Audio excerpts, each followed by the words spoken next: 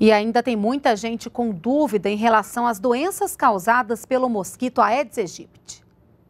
É possível transmitir essas doenças por transfusão de sangue? Já houve casos em que o Zika vírus e mesmo o dengue foram transmitidos por transfusão de sangue.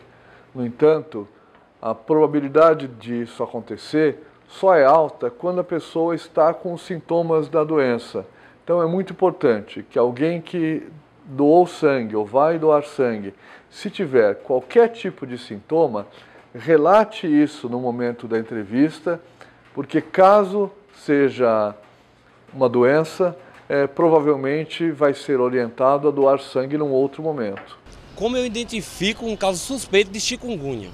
É uma doença que causa muito mal-estar, muito desconforto, as pessoas têm dificuldade para andar, em geral, tem muita dor nas articulações, dificuldade para fechar a mão, para trabalhar, para fazer movimentos que exijam é, dobrar o corpo. É, com febre, podem ter manchas no corpo, dor de cabeça também. É uma doença que incomoda muito, dá muito mal-estar.